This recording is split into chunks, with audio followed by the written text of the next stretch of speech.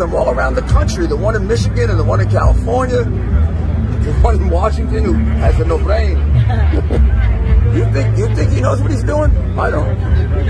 I mean, if he was giving a speech now, this would happen. It's really, really wonderful to be here, to be endorsing. Uh, what is it?